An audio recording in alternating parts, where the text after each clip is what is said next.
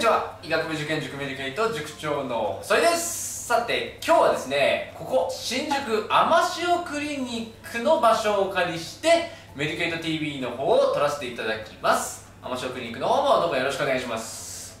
はい今日はですね聖光学院特集ということでね、えー、聖光学院卒の先生が来てくださってます。B 先生です。よろしくお願いします。はい聖光学院といえばですねやっぱ神奈川のトップ校ってイメージなんですけども、まあ、やっぱり栄光とか成功とかまあね似たような名前のところがあったりとかして、まあ、どういう位置づけなのかなそしてどんな校風なのかなっていうのを聞いてみたいと思うのでぜひ教えてください。よろしくお願いします。ちなみに聖光学院には中学から入ったんですか？そうですね。中高一貫で高校からの入学というのはないので基本全員中学1年生からの入学ってなるほど。高校受験はなしなんですね。そうです。学年は何人ぐらい？1学年大体230人で全部男ですか？そうですね。男子校なので230人全員男です気持ち悪いですね。なるほど。そして、えっと、場所はどの辺にあるんですか？えっと横浜駅から根岸線で4駅か5駅ぐらい行った山手駅っていうまあなんかもう海の方なんですけどそちらの方にありましたへえちなみにそこは何ていうんですか？まあその神奈川県民の中で都会か田舎って言ったらどういう感じなんですか？えっとまあ都会ではないっていう感じです。特に田舎とかいうイメージではないんですけどまあなんか海の方みたいな なるほど。ちょっと行けば横浜行けるよねみたいな。そうですね。まあ横浜桜木町には割と近いかな。おおなるほど。ちなみにその通われてる方々っていうのはほとんどが神奈川の方なんですか？いやそんなことはなくてまあ僕の学年は多分東京神奈川がまあ半々ぐらいで他の学年だとなんか静岡から新幹線で通学してきてて群馬から通ってきてた人もいるって話を聞いたことがあるんですけどまあ基本はやっぱ神奈川東京が多いなるほど。東京からも来るんですね、まあ、結構東京の人もいます。なんか、まあ、僕は千葉県だったんで栄光成功を受けるっていう考え方なかったんですけど、はい、東京の人は、まあ、その栄光成功も2月2日3日ですか？2日が第1回で4日が第2回。はいはい。はいはいだから御三家を、まあ、1日に受けて、はい、成功を2日受けたりとかする人は結構いるって感じですか？多分そういう受け方が一番多いんじゃないかなと思います。なるほどそして、まあ、やっぱり気になるのはもう栄光と成功どっちが悪いなんていうね。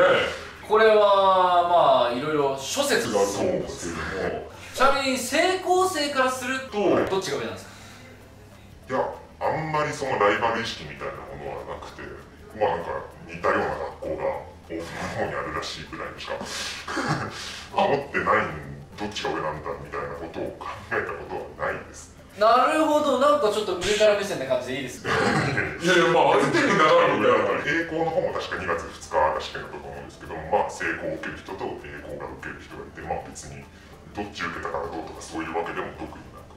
じゃあもう本当に改正と麻布とかそういう感じそうですね。ああなるほど。ちなみにそのなんかイメージというか、はい、成功は真面目栄光はチャラいとかそういうのってあるんですか？世間的にそういうのを言われてるって話は割とよくなんか聞く気がするんですけど。世間的にはどう言われてるんですか？いやなんか成功はまあ言ってしまえば受験証なんだみたいな。すごい真面目でもう中1から勉強のことを詰め込むみたいな外からそういう偏見を受けてるんじゃないかなって偏見を僕は持ってるだけかもしれないんです。けど、はいはいはい。はい英語は？英語はいやちょっとてちなみにその英語とは結構距離離れてるんです電車に乗ってる時間で20分ぐらい離れてるんじゃないかなとじゃあもう全然そのなんかライバルって感じもしないけどたまたま中学受験で名前に出て偏差値に通ってるから。まあなんか比較対象に挙げられやすいんじゃないかなぐらいしかちょっと思ってない。なる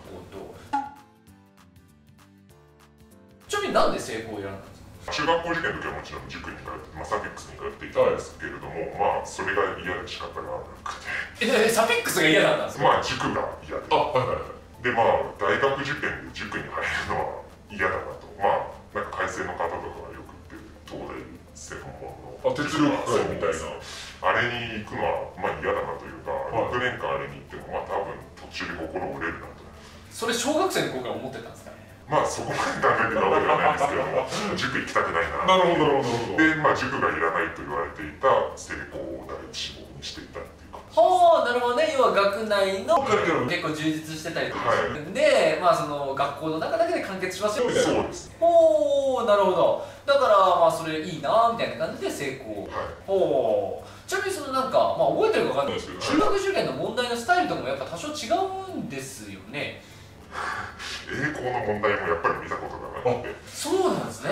成功の方はそのサピックスのサピックスオープンとか、うんうんマンスリーテストとかそういう問題とまあ割と配点とかその問題の質とかも似てるって言われておおなるほどね。じゃあサピックスの勉強ちゃんとややってればまあまあそのそのまま偏差値がそのまま合格につながるんじゃないかみたいな感じなんですそういう感じで言われてると思います。ああなるほどなるほど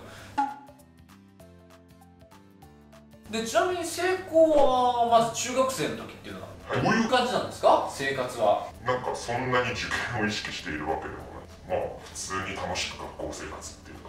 例えば中1の頃からなんかもう中学数学を一瞬で終わらせて高校数学に入るとかそういうこともなんかなくなんかそんなに詰め込まれる感じはないなと。むしろなんか例えば恒例だと思うんですけれど、はい。中1の夏休みの宿題でなんか鳥の鳴き声を覚えるって宿題が出る頭おかしいんですねななんか理由は生物の先生が言ってたまあああまあそういうもんなのかぐらいの理由でまあちょっとあんまりよく覚えてない。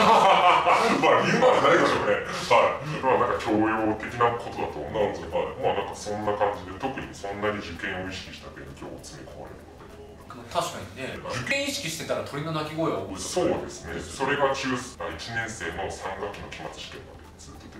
鳥ですね本気で面倒くさいですね。そうですね。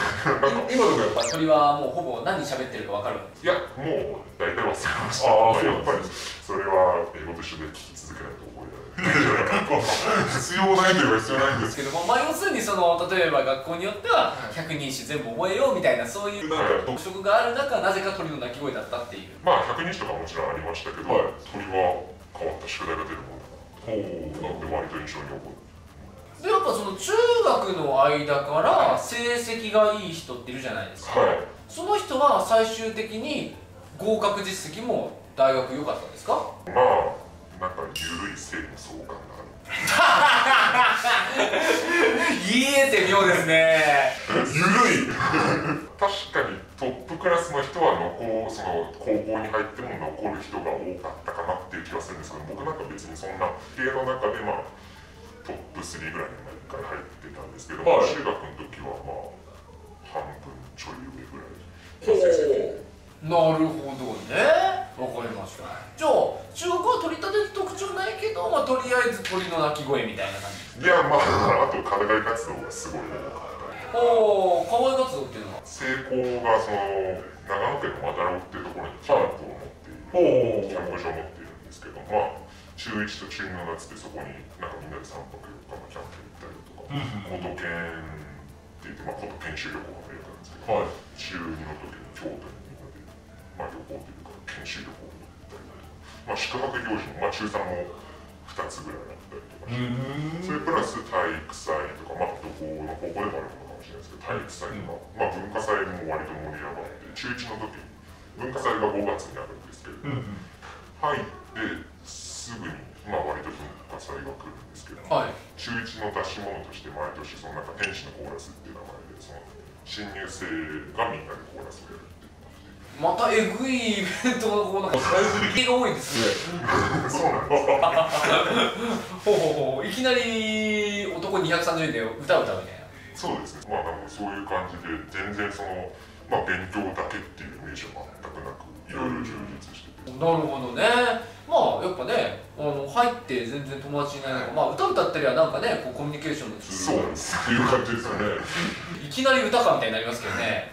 ああなるほど。そして高校にあ俺も。ましたと、はい。まあ当たり前ですけどねその進学校ですから、まあちょっと高1ぐらいからみんな頑張ろうみたいなね空気は出てくるとは思うんですけども。はい。